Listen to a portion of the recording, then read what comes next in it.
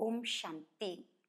मुरली का तारीख है पंद्रह दस दो हज़ार उन्नीस। मीठे बच्चे, सतगुरु की पहली पहली श्रीमत है। देही अभिमानी बनो, देह अभिमान छोड़ दो। प्रश्न, इस समय तुम बच्चे, कोई भी इच्छा, वहाँ चाहना नहीं रख सकते हो। क्यों? उत्तर, क्योंकि तुम सब वानप्रस्थी हो, तुम जानते हो, इन आंकों से जो कुछ देखते हैं, वह विनाश होना है। अब तुम्हें कुछ भी नहीं चाहिए, बिल्कुल बेगर बनना है। अगर ऐसी कोई ऊंच चीज़ पहनेंगे तो खींचेगी। फिर देह अभिमान में फंसते रहेंगे। इसमें ही मेहनत है। जब मेहनत कर, पूरे देही अभिमानी बनो, तब विश्व की बादशाही मिलेगी। ओम शांति। या पंद्रह मिनट वहाँ आधा घंटा बच्चे बैठे बाबा भी पंद्रह मिनट बिताते हैं कि अपने को आत्मा समझ बाप को याद करो। या शिक्षा एक ही बार मिलती है, फिर कभी नहीं मिलेगी।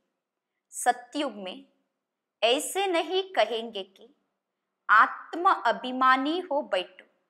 या एक ही सतगुरु कहते हैं। उनके लिए कहा जाता है, एक सदगुरु तारे, बाकी सब डुबोए। यहाँ बाप तुमको देही अभिमानी बनाते हैं। खुद भी देही है ना? समझाने के लिए कहते हैं, मैं तुम सभी आत्माओं का बाप हूँ। उनको तो देही बन। बाप को याद नहीं करना है। याद भी वही करेंगे जो आदि सनातन देवी देवता धर्म के बाती होंगे। बाती तो बहुत होते हैं ना। नंबरवार पुरुषार्थ अनुसार। यह बात बड़ी समझने और समझाने की है। परम पिता परमात्मा, तुम सबका बाप भी है और फिर नॉलेजफुल भी है। आत्मा में ही नॉलेज रहती है ना। तुम्हारी आत्मा संस्कार ले जाती है। बाप में तो पहले से ही संस्कार है। वहाँ बाप है। या तो सब मानते भी हैं।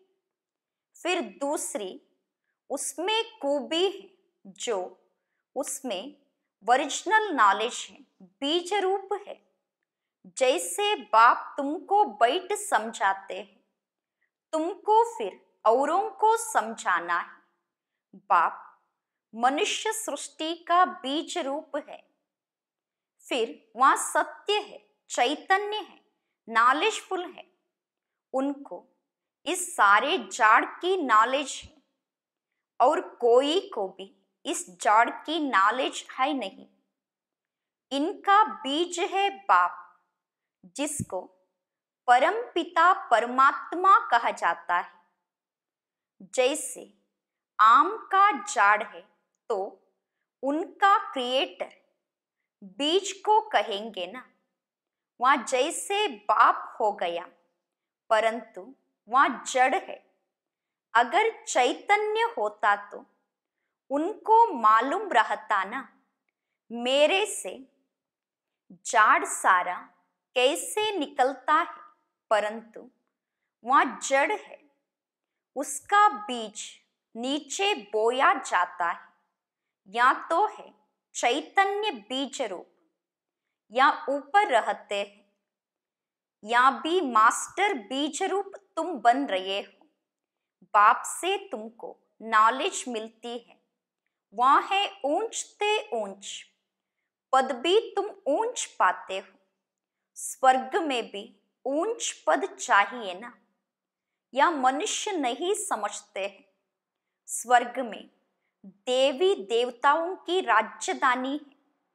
राज्यदानी में राजा, रानी, प्रजा, गरीब, साहूकार आदि या सब कैसे बने होंगे?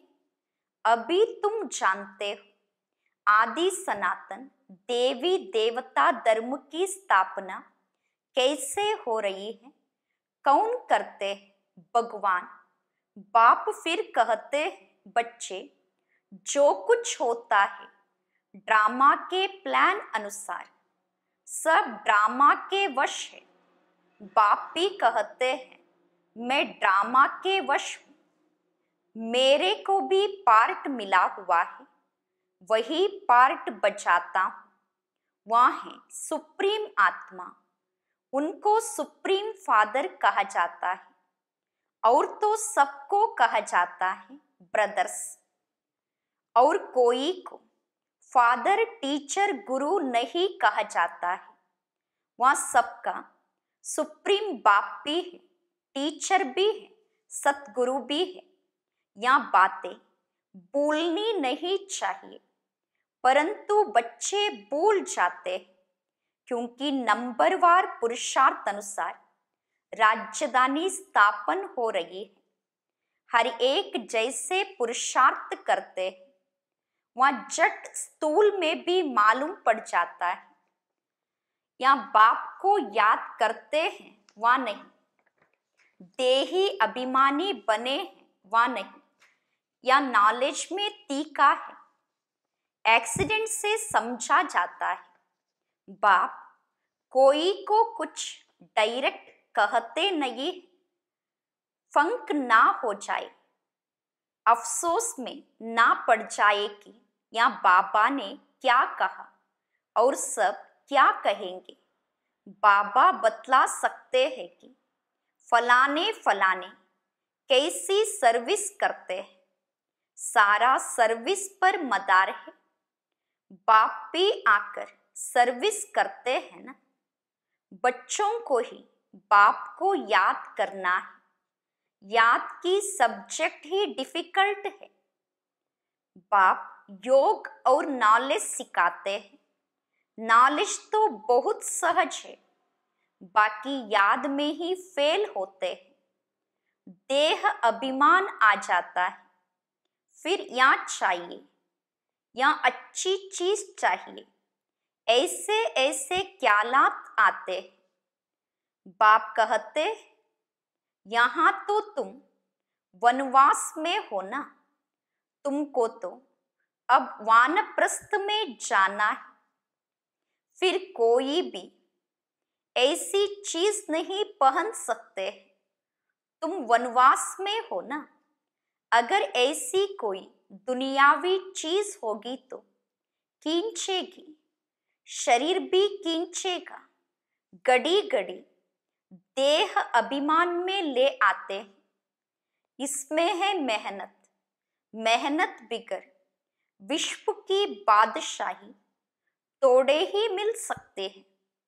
मेहनत भी नंबरवार पुरुषार्थ अनुसार, कल्प कल्प करते आए हो, करते रहते हो।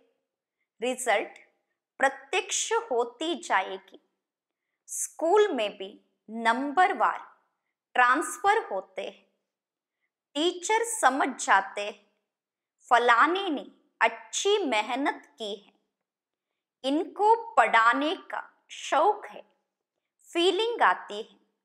इसमें तो ये क्लास से ट्रांसफ़र हो, दूसरे में, फिर तीसरे में आ जाते यहाँ तो एक ही बार पढ़ना है, आगे चल। जितना तुम नज़दीक आते जाएँगे, उतना सब मालूम पड़ता जाएगा। या बहुत मेहनत करनी ज़रूर ऊंच पद पाएँगे। या तो जानते कोई राजा रानी बनते कोई क्या बनते कोई क्या बनते प्रजा भी तो बहुत बनती सारा एक्टिविटी से मालूम पड़ता है। या देह अभिमान में कितना रहते हैं। इनका कितना लव है बाप से। बाप के साथ ही लव चाहिए ना। बाई बाई का नहीं, बाइयों के लव से कुछ मिलता नहीं है। वर्षा सबको एक बाप से मिलना है। बाप कहते बच्चे अपने को आत्मा समझ, मुझे याद करो तो। तुम्हारे पाप कट जाए। मूल बात ही यह याद से ताकत आएगी। दिन प्रतिदिन बैटरी बढ़ती जाएगी, क्योंकि ज्ञान की धारणा होती जाती है ना। तीर लगता जाता है। दिन प्रतिदिन तुम्हारी उन्नति नंबरवार पुरुषार्थ अनुसार होती है। यह एक ही बाप टीचर सतगुरु है, जो देही अभिमानी बनने की शिक्षा देते हैं और कोई दे ना सके। और तो सब है देह अभिमानी, आत्म अभिमानी की नॉलेज कोई को मिलती ही नहीं कोई मनुष्य, बाप, टीचर, गुरु हो ना सके। हर एक अपना अपना पार्ट बजा रहे हैं। तुम साक्षी हो देखते हो। सारा नाटक तुमको साक्षी हो देखना है। एक्ट भी करना है। बाप, क्रिएटर, डायरेक्टर, एक्टर है। शुबाबा आकर एक्ट करते हैं। सबका बाप है ना? बच्चे अथवा बच्चियाँ सबको आकर वर्षा देते हैं। एक बाप है, बाकी सब है आत्माएँ, बाई बाई है। वर्षा एक बाप से ही मिलता है। इस दुनिया की तो कोई चीज़ बुद्धि में याद नहीं आती बाप कहते जो कुछ देखते हो यह सब विनाशी है। अभी तो तुमको घर जाना है। वो लोग ब्रह्म को याद करते हैं, गोया घर को याद करते हैं, समझते हैं। ब्रह्म में लीन हो जाएँगे। इसको कहा जाता है अज्ञान। मनुष्य मुक्ति, जीवन मुक्ति के लिए जो कुछ कहते हैं, वह रांग जो कुछ युक्ति रचते हैं, सब है रॉन्ग राइट रास्ता तो एक ही बाप बतलाते हैं। बाप कहते हैं, हम तुमको, राजाओं का राजा बनाता हूँ। ड्रामा प्लान अनुसार। कई कहते हैं, हमारी बुद्धि में नहीं बैठता। बाबा हमारा मुख खोलो, कृपा करो, बाप कहते हैं, इसमें बाप को तो कुछ करने की बात ही नहीं है। मुख्य बात है, तुमको डायरेक्शन पर चलना है। बाप का ही राइट डायरेक्शन मिलता है। बाकी सब मनुष्यों के हैं, रॉन्ग डायरेक्शन, क्योंकि सब में पाँच विकार है ना। नीचे ही उतरते उतरते रॉन्ग बनते जाते क्या क्या रिद्धि सिद्धि आदि करते रहते उनमें सुख नहीं तुम जानते हो, या सब? अल्प काल के सुख है। उनको कहा जाता है, कागविष्टा समान सुख। सीडी के चित्र पर बहुत अच्छी रीति समझाना है और जाड़ पर भी समझाना है। कोई भी धर्म वाले को तुम दिखा सकते हो। हमारा धर्म बाप स्थापन करते हैं। तुम्हारा धर्म स्थापन करने वाला फलाने फलाने समय पर आता है। क्राइस्ट फलाने टाइम आएगा। जो और और धर्म में कन्वर्ट हो गए, उन्हों को या धर्म ही अच्छा लगेगा। फट निकल आएँगे, बाकी कोई को अच्छा नहीं लगेगा तो वह पुरुषार्थ ही कैसे करेंगे? मनुष्य, मनुष्यों को फांसी पर चढ़ाते हैं। तुमको तो एक बाप की ही याद में रहना है। यह बड़ी मीठी फांसी है। आत्मा की बुद्धि का योग है। बाप की तरफ़। आत्मा को कहा जाता है, बाप को याद करो। या याद की फांसी फादर तो ऊपर रहते हैं ना। तुम जानते हो, हम आत्मा है। हमको बाप को ही याद करना है। या शरीर तो यहाँ ही छोड़ देना है। तुमको यह सारा ज्ञान है। तुम यहाँ बैठ क्या करते हो? वाणी से परे जाने के लिए पुरुषार्थ करते हो। बाप कहते सबको मेरे पास आना है। तो कालों का काल हो गया ना, वहाँ काल तो एक को ले जाते वहाँ भी काल कोई है नहीं जो ले जाता। या तो ड्रामा में सब नूंद है, आत्मा आपे ही समय पर चली जाती है। या बाप तो सब आत्माओं को ले जाते तो अब तुम सबका बुद्धि योग है अपने घर जाने के लिए शरीर छोड़ने को मरना कहा जाता है। शरीर खत्म हो गया, आत्मा चली गई। बाप को बुलाते भी इसलिए है कि बाबा, आकर हमको इस सृष्टि से ले जाओ। यहाँ हमको रहना नहीं है। ड्रामा के प्लान अनुसार अब वापस जाना है। कहते, बाबा, यहाँ अपार सुख है। अब यहाँ रहना नहीं है। यहाँ बहुत चीची दुनिया है। मरना भी ज़रूर है। सबकी वानप्रस्थ अवस्था है। अभी वाणी से परे जाना है। तुमको कोई काल नहीं काएगा। तुम खुशी से जाते हो। शास्त्र आदि जो भी है, वह सब भक्ति मार्ग के हैं।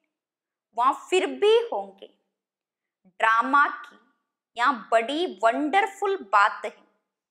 या टेप या गड़ी जो कुछ इस समय देखते हो, वह सब फिर होगा। इसमें मूंझने की कोई बात ही नहीं है। वर्ल्ड की हिस्ट्री, जियोग्राफी रिपीट का अर्थ ही है। हुबहू रिपीट। अभी तुम जानते हो।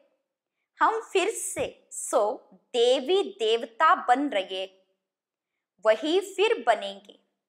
इसमें जरा भी फ़र्क नहीं पड़ सकता है। यह सब समझने की बातें तुम जानते हो, वह बेहद का बाप भी है। टीचर सतगुरु भी है। ऐसा कोई मनुष्य हो ना सके। उनको तुम बाबा कहते हो, प्रजापिता ब्रह्मा कहते हो, या भी कहते मेरे से तुमको वर्षा नहीं मिलेगा। बापू गांधी जी भी प्रजापिता नहीं है, बापू गांधी जी को भी प्रजापिता नहीं कहेंगे। बाप कहते इन बातों में तुम मूंछो मत। बोलो, हम ब्रह्मा को भगवान व देवता आदि कहते ही नहीं है। बाप ने बताया है, बहुत जन्मों के अंत में, वानप्रस्थ अवस्था में, मैं इनमें प्रवेश करता हूँ। सारे विश्व को पावन बनाने के लिए, जाड़ में भी दिखाओ।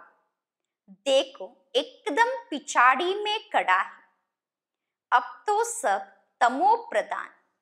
जड़जड़ी भूत अवस्था में है ना? या भी तमो प्रदान में कड़े हैं। वही पिक्चर्स है। इसमें बाप प्रवेश कर, इनका नाम ब्रह्मा रखते हैं। नहीं तो तुम बताओ, ब्रह्मा का नाम कहाँ से आया? यह है पतित, वह है पावन। वह पावन देवता ही फिर चौरासी जन्म ले पतित मनुष्य बनते या मनुष्य से देवता बनने वाला है। मनुष्य को देवता बनाना या बाप का ही काम है। या सब बड़ी वंडरफुल समझने की बातें हैं। या वहाँ बनते हैं सेकंड में। फिर वहाँ चौरासी जन्म ले, या बनते इसमें बाप प्रवेश कर बैठ पढ़ाते तुम भी पढ़ते हो। इनका भी गराना है ना? लक्ष्मी नारायण, राधे कृष्ण के मंदिर भी है। परंतु यहाँ किसी को भी पता नहीं राधे कृष्ण पहले प्रिंस प्रिंसेज है, जो फिर लक्ष्मी नारायण बनते या बेगर टू प्रिंस बनेंगे। प्रिंस और बेगर बनते, कितनी सहज बात है। चौरासी जन्मों की कहानी, इन दोनों चित्रों में है, या वहाँ बनते युगल है। इसीलिए चार बुझा देते, प्रवृत्ति मार्ग है ना। एक सतगुरु ही तुम्हें पार ले जाते। बाप कितना अच्छी रीति समझाते। फिर दैवी गुण भी चाहिए। स्त्री के लिए पति से पूछो वहाँ स्त्री से। पति के लिए पूछो तो झट बताएगी, इनमें या कामिया इस बात में या तंग करते या तो कहेंगे हम दोनों ठीक चलते। कोई किसी को तंग नहीं करते, दोनों। एक दो के मददगार, साथी होकर चलते। कोई एक दो को गिराने की कोशिश करते। हैं बाप कहते हैं, इसमें स्वभाव को अच्छी रीति बदलना पड़ता है, वह सब है। असुरी स्वभाव, देवताओं का होता ही है। दैवी स्वभाव। यह सब तुम जानते हो। असुरों और देवताओं की युद्ध लगी नहीं है। पुरानी दुनिया और नई दुनिया आपस में मिल कैसे सकते हैं? बाप कहते हैं, फास्ट बातें जो होकर गई उनको बैठ लिखा है। उनको कहानियाँ कहेंगे। त्योहार आदि सब यहाँ के द्वापर से लेकर मानते सतयुग में नई मनाए जाते, द्वापर से। या त्योहार मनाते रहते या सब बुद्धि से समझने की बातें देह अभिमान के कारण बच्चे बहुत पॉइंट्स भूल जाते नॉलेज तो सहज है। सात रोज में सारी नॉलेज धारण हो सकती है। पहले अटेंशन चाहिए।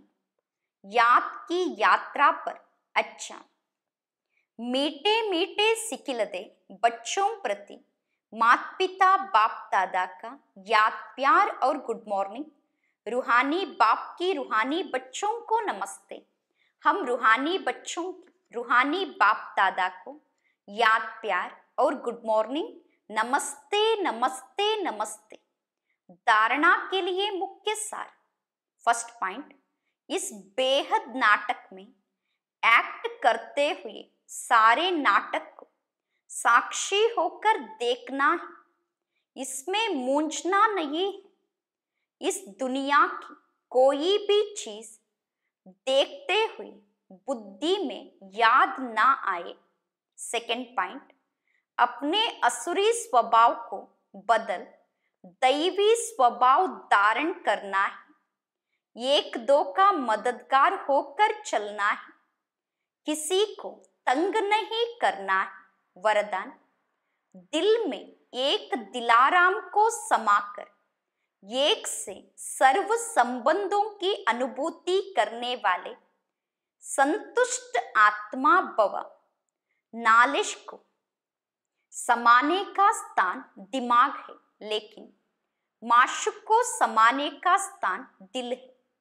कोई कोई आशिक दिमाग ज़्यादा चलाते हैं, लेकिन बाप दादा सच्ची दिल वालों पर राज़ी है। इसीलिए दिल का अनुभव, दिल जाने, दिलाराम जाने। जो दिल से सेवा करते, वहाँ याद करते उन्हें मेहनत कम और संतुष्टता ज़्यादा मिलती है। दिल वाले सदा संतुष्टता के गीत गाते हैं। उन्हें समय प्रमाण, एक से सर्व संबंधों की अनुभूति होती है। श्लोगन, अमृत वेले, प्लेन बुद्धि होकर बैठो तो सेवा की नई विधियाँ टच होगी। अच्छा ओम शांति।